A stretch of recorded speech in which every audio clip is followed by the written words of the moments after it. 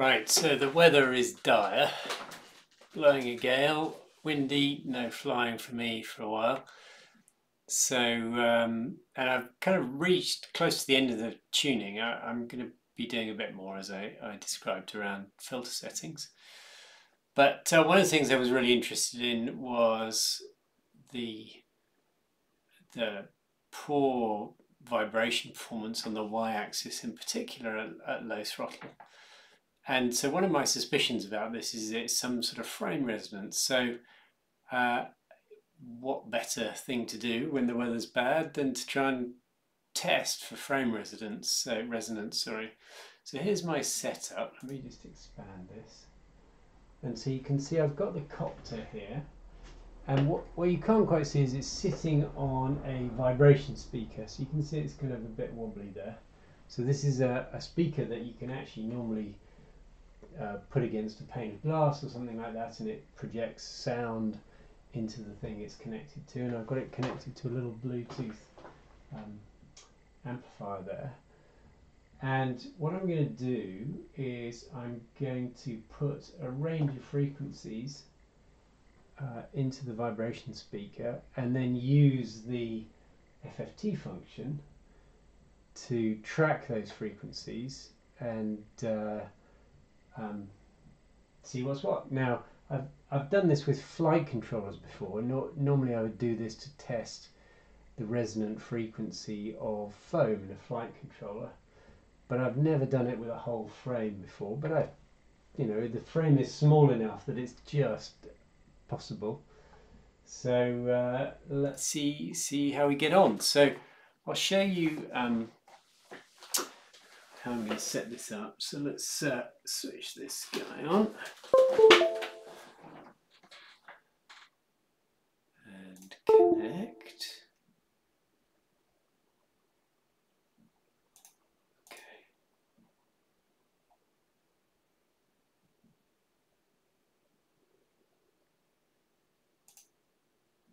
So, um, so what I'm going to do is enable FFT. So this enables uh, onboard FFT uh, and you can use this to drive the harmonic notch. Now I'm not going to do that because the uh, response from the uh, C's is far more accurate, but I can still use this to detect frequencies in the aircraft. So if I write that out,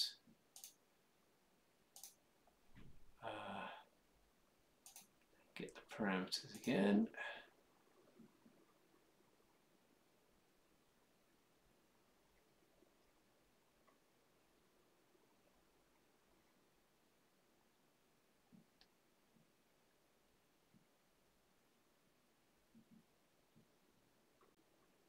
So I'm interested in quite a wide range of frequencies here. So I've got the setup here for FFT. So I'm going to um, set min and max hertz to cover the full range of frequencies. So I'm going to go from I'm going to go from 5, so I want to be below that 20 hertz range.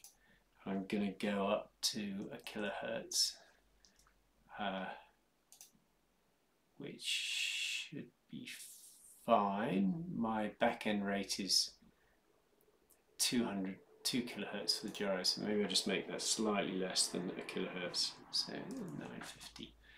Um, so that covers the complete range. And uh, the size of the window is pretty good, but I'm interested in accuracy here, so I think I'm going to increase that to a window of 128. So these are not settings I would necessarily fly with, but they're a good way of, of looking at frequency data. Um, and let's write those out. Yep. And then I'm just going to, uh, and then the last thing I'm going to do is switch on disarmed logging because I want to log while the thing is not armed. And uh, should be okay. So I'll write that out. I'm going to reboot the flight controller.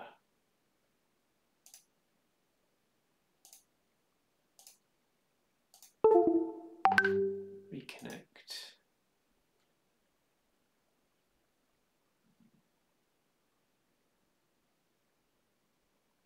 And that should be good. So I don't know whether we got the message. Uh,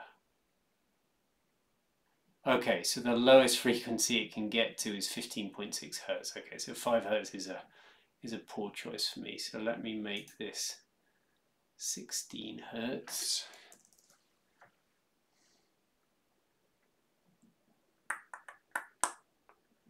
Uh, so the way FFTs work is that they're bins of frequencies, they're not individual frequencies. So I'm going to set that to 16 hertz, reboot again, reconnect.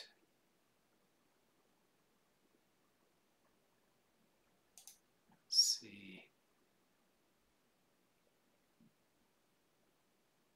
And there we can see the FFT is calibrated and the bins are 7.8 hertz wide. So that's good. Okay, so I should be ready to run my test. Okay, so we're ready to go. So um, what I've got is this, so I've got my iPhone and I'm using something called Multitone Generator Pro. I don't know whether you can see that, probably not very well. Uh, and this allows you to select, I've selected a sine sweep from 5 hertz to 1000 hertz over 10 seconds. And uh, what I'm going to do is switch on disarmed logging. I've disabled the FFT, the, the, the batch logging, FFT batch logging, because otherwise I'll overwhelm the log file. So I'm going to switch on disarmed logging. There we go. So that's switched on. So it's logging away. I'm now going to do the sweep through the tone generator, which you should hear.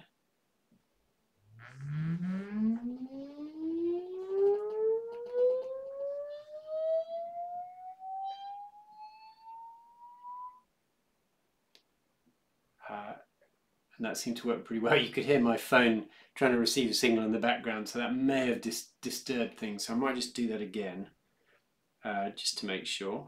Okay.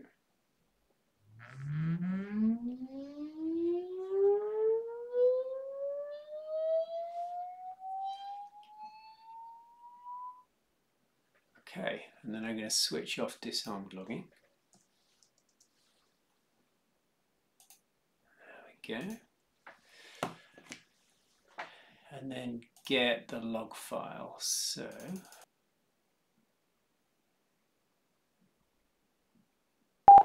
there we go download it right. Let's review this log. Um,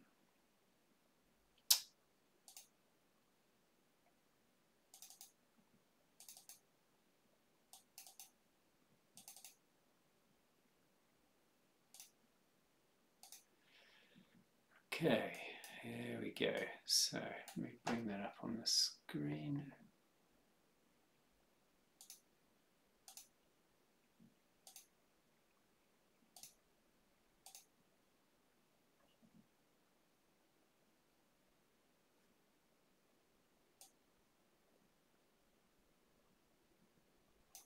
Okay, so you should be able to see that now. So um, with the FFT settings, all of the FFT data goes into these two buckets here, FTUN1 and FTUN2.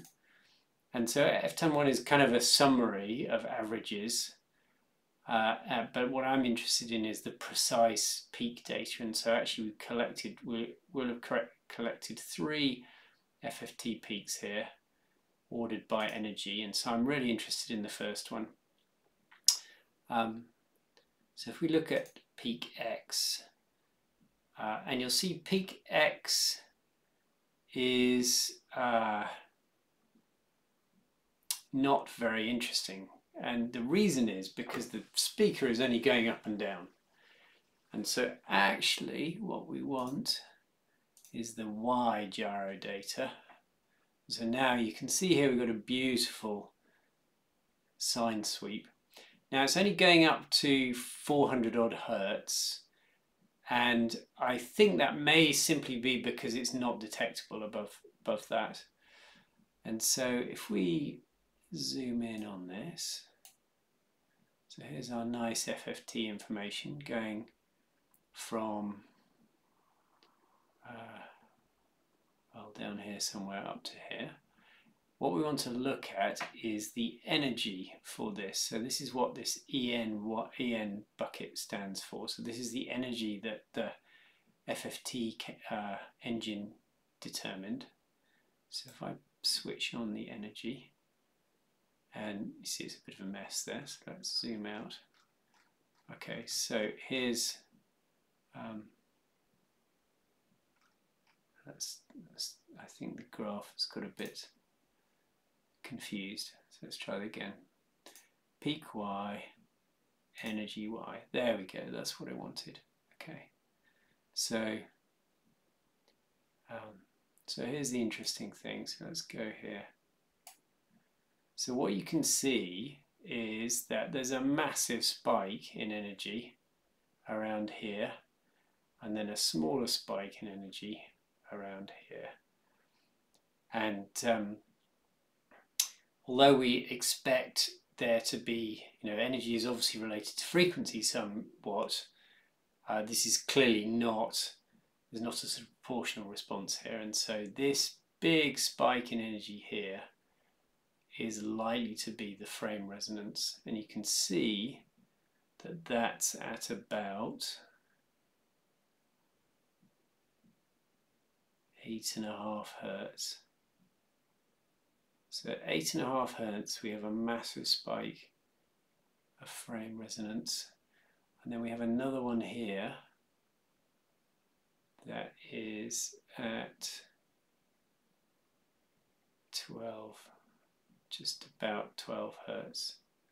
So eight and a half hertz here. Oh, hang on. reading the wrong scale. this is energy here in in uh, um, uh, uh, mystical units, which I won't describe to you, uh, but they are, it, it's a sort of power spectral density. The hertz is here, so this is so this is actually a big spike at uh, a hundred and well this is 160 so it's about 170 about 170 hertz something like that. Which is just above I think that's just above the hover frequency. So that would explain there so there is a lot of frame resonance going on just above the hover frequency. That so that kind of explains what we're seeing and then we're seeing another spike at 200 and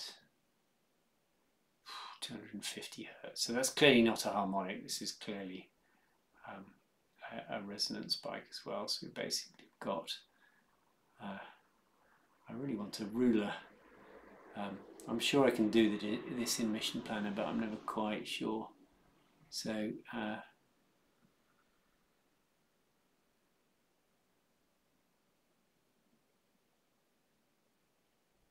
I'll have to figure that out. But anyway, I'm sure I can show the data under there. So basically, we've got a big spike at 160 something hertz and a smaller spike at 250 hertz.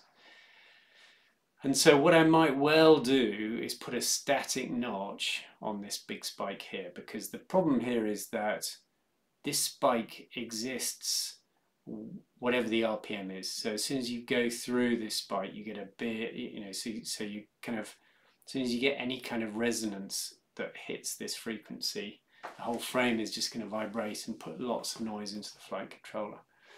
And so a static notch, and you see it's very, it's, it's a very, I need to measure this very carefully because you can see it's a very narrow spike. So I should be able to put quite a thin notch on that you know, only only a few um, hertz either way, and so it's not going to affect anything else. But I think it might make a big difference to the uh, the copter's performance overall. So that's uh, that's what I will try.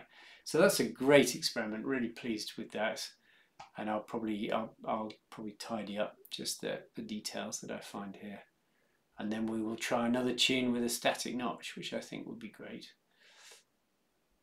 Okay, just a quick update here. I've sort of figured out my Mission Planner uh, um, in capability. So I actually right click and say show point values.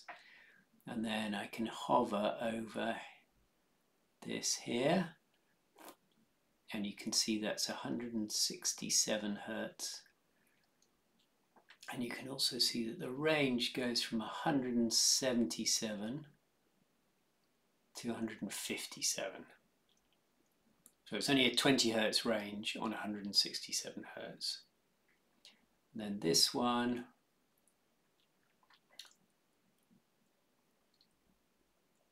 uh, not quite sure what's going on there because that's not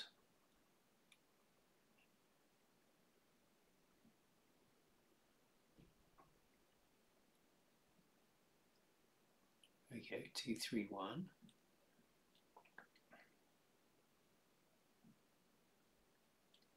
Two three six. So about two three six, and the, the width is a bit wider here. It's from two oh six to about there two six eight. So about thirty hertz either side of two three six. Yeah, okay. So you've got 167 and 236. Uh, and um, I can only put one static notch on, so I'll definitely go, go for this 167 uh, spot, um, uh, which looks great. So I shall try that.